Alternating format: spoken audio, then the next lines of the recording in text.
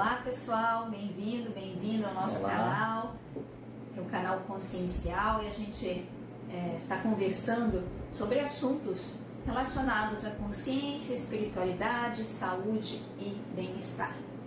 Então hoje, o que nós é, trouxemos aqui para vocês é um texto que você já deve ter, ter lido aí na internet, mas a gente quer comentar.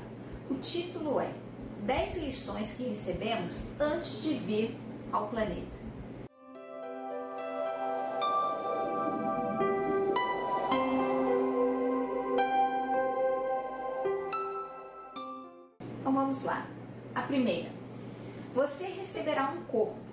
Poderá amá-lo ou odiá-lo, mas ele será sempre seu todo o tempo. De novo, você receberá um corpo, poderá amá-lo ou odiá-lo, mas ele será seu todo o tempo. Então vamos lá.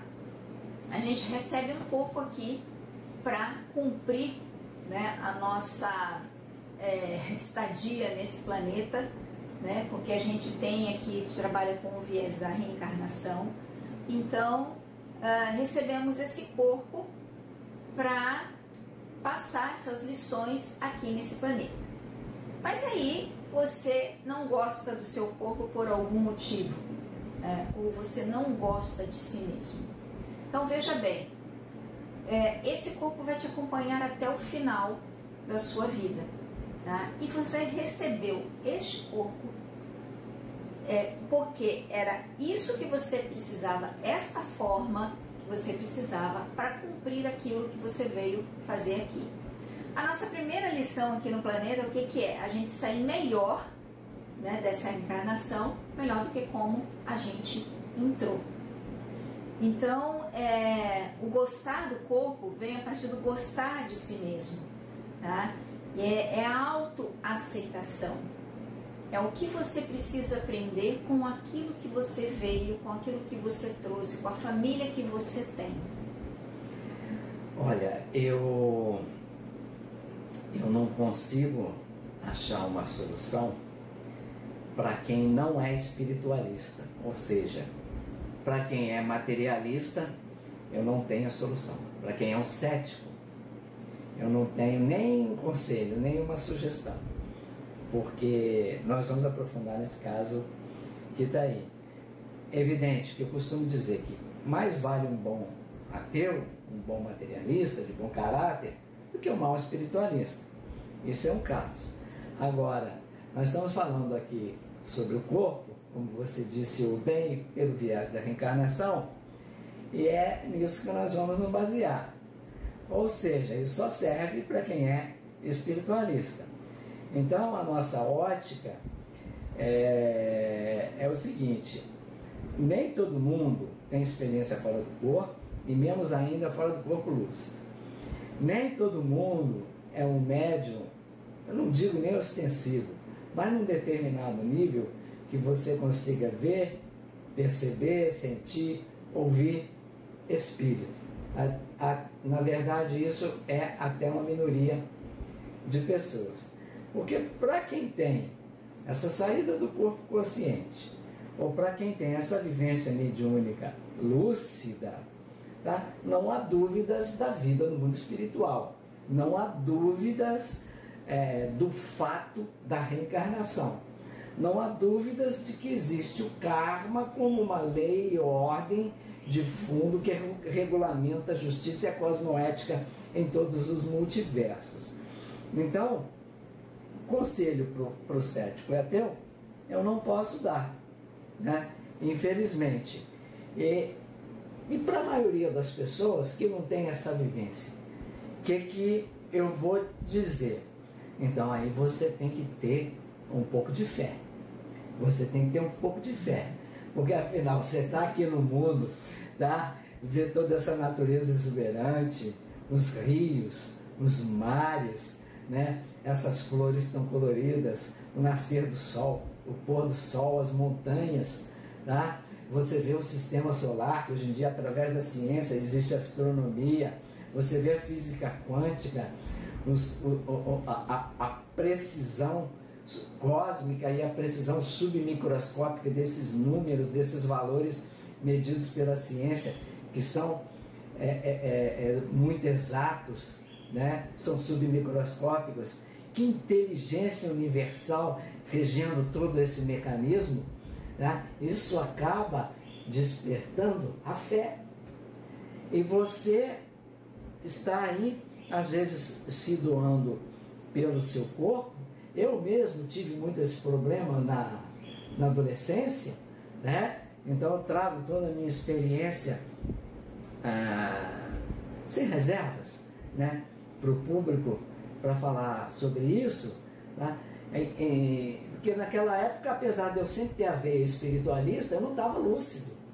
Então, à medida que nós estamos aqui falando, nós estamos nós mesmos, antes do público, nós nos tornarmos mais lúcidos e ajudar no desenvolvimento dessa lucidez. Dentro dessa lucidez, né, paradoxalmente, eu estou evocando a fé da pessoa.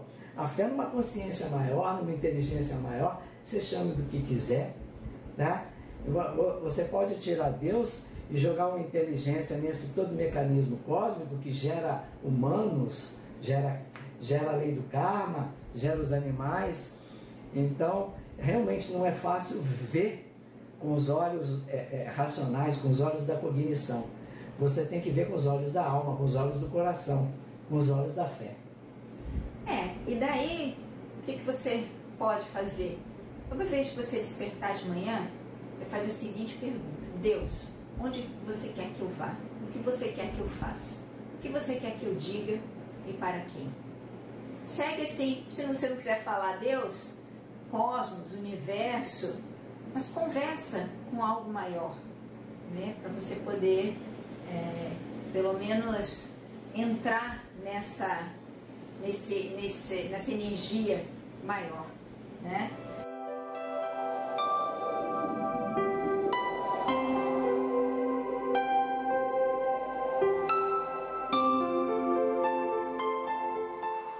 Vamos lá para a segunda.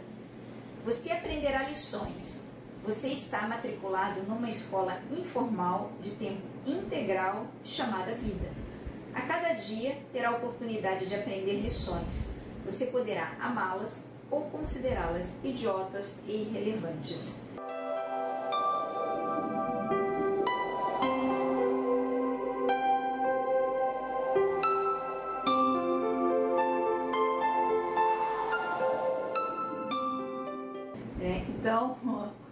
lição a gente tem todo dia e toda hora. A maneira como a gente enxerga isso, como a gente lida com todas as coisas que acontecem na nossa vida, é que pode nos trazer dor e sofrimento, pode nos trazer consciência, né? E pode nos trazer oportunidades.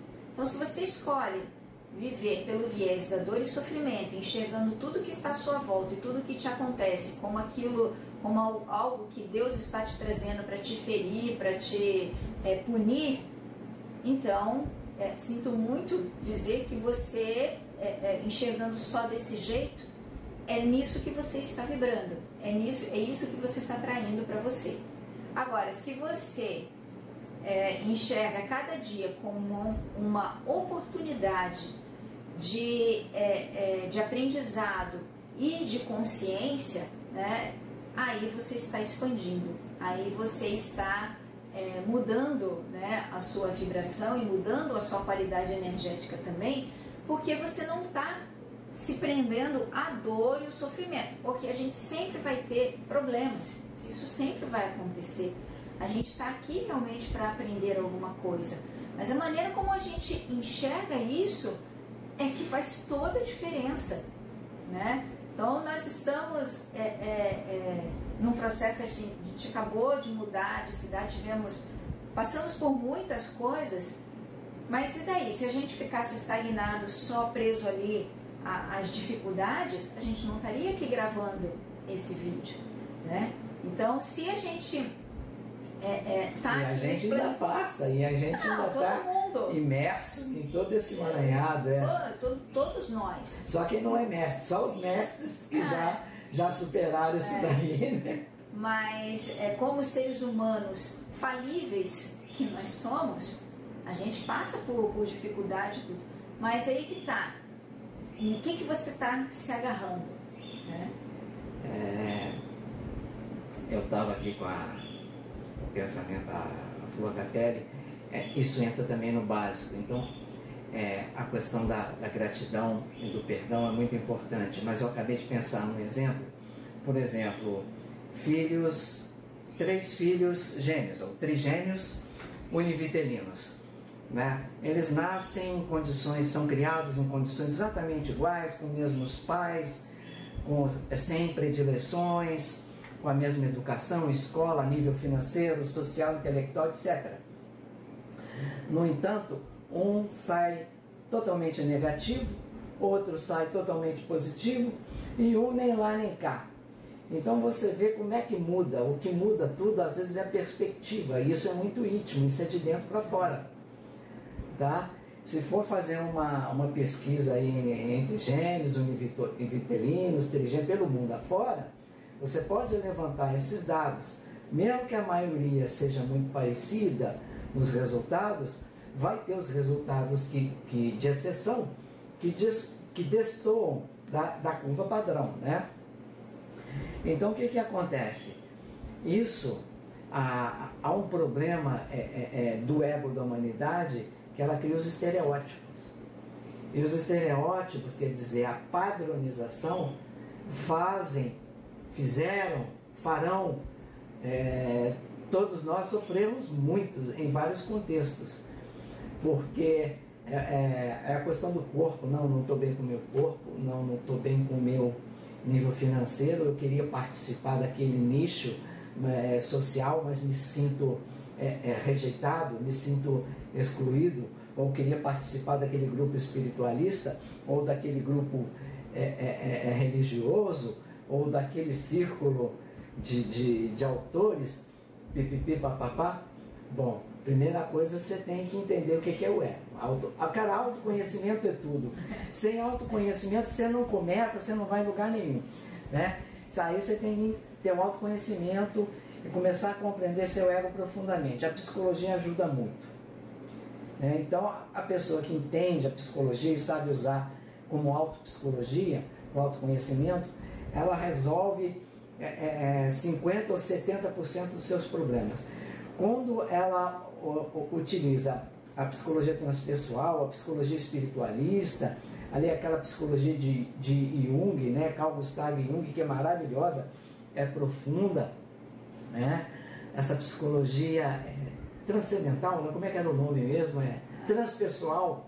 A, trans, a, trans, já citou. É, a transpessoal e, e usar para o autoconhecimento dela, ela começa a entender todo esse mecanismo e a visão de mundo dela começa a mudar, ela começa a, a, a sair desse nível do ego tão baixo, ela começa a subir, o ponto de vista dela começa a subir, começa a crescer, e ela começa a ver as coisas de uma forma mais suave. Isso não significa que ela não vai sofrer, não vai sentir dor, porque nós estamos no meio de, de um meio kármico, um meio de karma fundamental.